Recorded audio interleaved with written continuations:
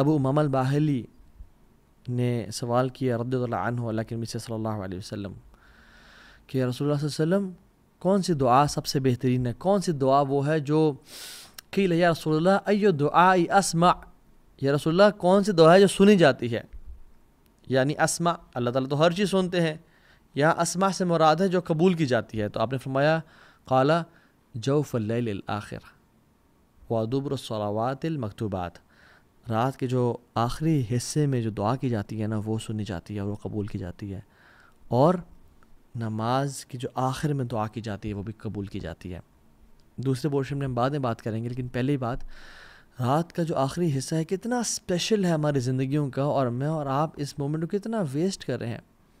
अल्लाह सुबहान ताली हर रात के तीसरे हिस्से में अल्लाह सुबहान ताली जिस तरह उसके शान के लायक है, आसमान दुनिया पर तशरीफ़ लेके आते हैं, मेरे और आपके लिए। और ऐलान करते हैं, मैं यदूनी फ़स्तजीब अल्लाह कौन है जो मुझे, मुझसे दुआ करे? मैं उसकी दुआ कबूल करूँ? अल्लाह अकबर। हमें से कौन शख्स है जो इन अपॉर्चुनिटीज़ को यूज़ कर लें? मैं यस अलूनी फ़ातिया कौन है जो मुझे मुझसे सवाल करे? मैं उसको अता कर दूँ, चाहे वो दुनिया हो या आखिरत हो। मैं यस तखफ़िरनी फ़ाफ़िर अल्लाह कौन है जो मुझसे तौबा करे और अपने गुनाहों की बख्शिश मांगे? वो गुनाहों में डूबा हुआ है, मैं उसको माफ़ कर दूँ। सही बुखारी की डबल वन फोर फाइव और सही मुस्लिम की सेवन फाइव एट नंबर हदीस है। हमें से कौन से जो इन मोमेंट्स को वेट करेगा? एंड सुबहानल्ला आजकल का जो टाइम है विंटर्स इट्स ईजियर इमाम हसन बसरी कहते हैं कि जो सर्दियाँ हैं, ये तो मुसलमानों के दिन है, कि जिसमें रोज़ा रखना आसान और क्याम करना भी आसान होता है। कि लंबी रातें इंसान रात को आठ बजे सो जाए, नौ बजे सो जाए शाह की नमाज़ पढ़ के सो जाए और उसकी आँख, नींद पूरी हो जाती है और वो रात को उठ के अल्लाह की इबादत कर सकता है। So as compare to summers it's easier और समर्स में देखें सुबह कभी कभी साढ़े तीन बजे, पौने चार बजे फजर की जमात खड़ी हो जाती है और आजकल छः, दस में फजर की जमात हो रही है या साढ़े छः बजे फजर की जमात हो रही है। तो हम देखें कि हमारे पास कितना टाइम है।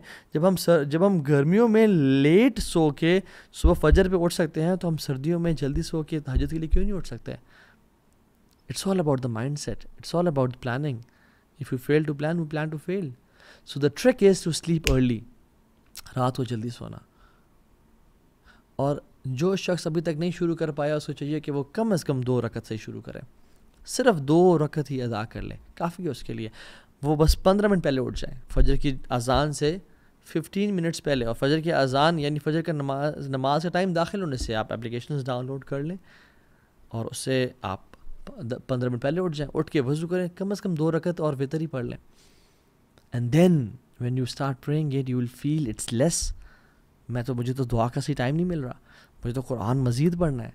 And then you will want more and more and more and फिर आपके लिए आधा घंटा और घंटा भी कम हो जाएगा।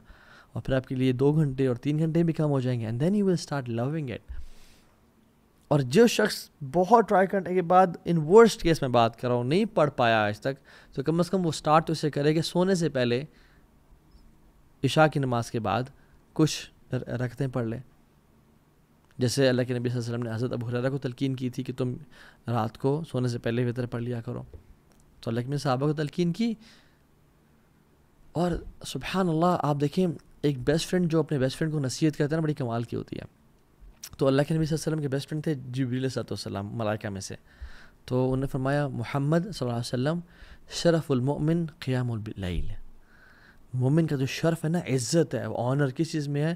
क़याम बिल्लैल क़याम बिल्लैल रात के उठ में क्याम करने में। वाइज़हू इस्तना नास।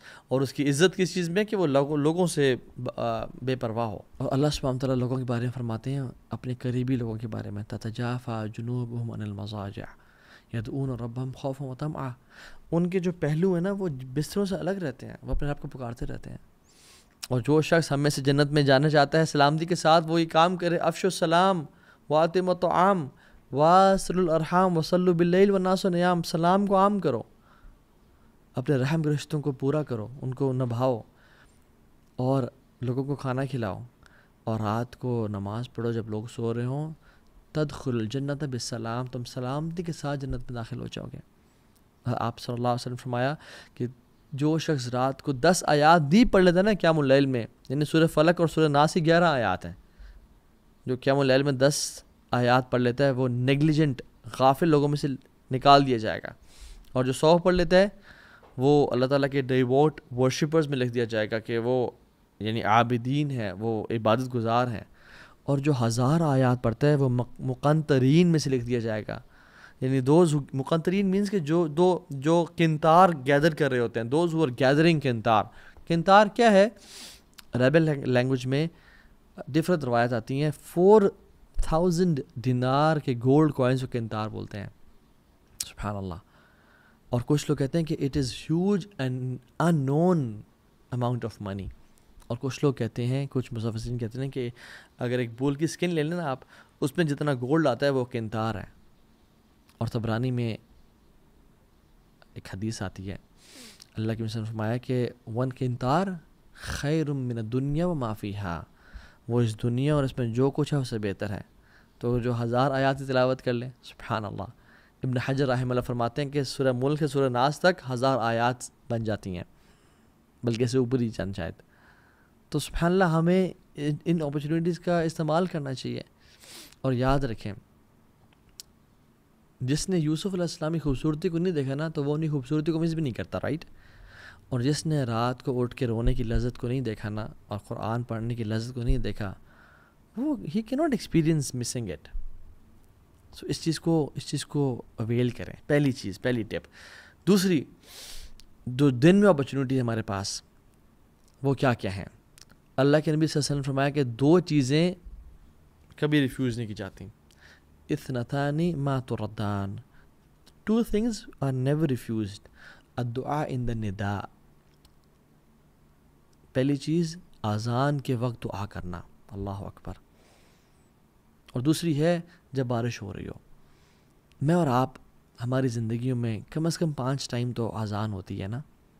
और माशाल्लाह, हम तो मुस्लिम मुल्क में रहते हैं तो कितनी कितनी अजानें हो रही होती हैं। अलहमदिल्ला तो जब आज़ान हो रही हो, उस टाइम दुआ करना। और मैं और आप कितने गफलत से उस दुआ, उस आज़ान को सुन रहे होते हैं और ना तो उसका जवाब देते हैं और ना उस टाइम दुआ करते हैं। ये सही जामे की ऑथेंटिक हदीस है थ्री ज़ीरो सेवन एट मैं और आप, हम क्यों दुआ नहीं करते उस टाइम? अल्लाह की फरमाया इतनानी मैं तो रद्दान, दो दुआएँ ऐसी हैं जो रद्द नहीं की जाती, एक अजान के टाइम पे। फरमाया, अजान के टाइम पे जो दुआ की जाती है, वो रद्द नहीं की जाती एंड सुबह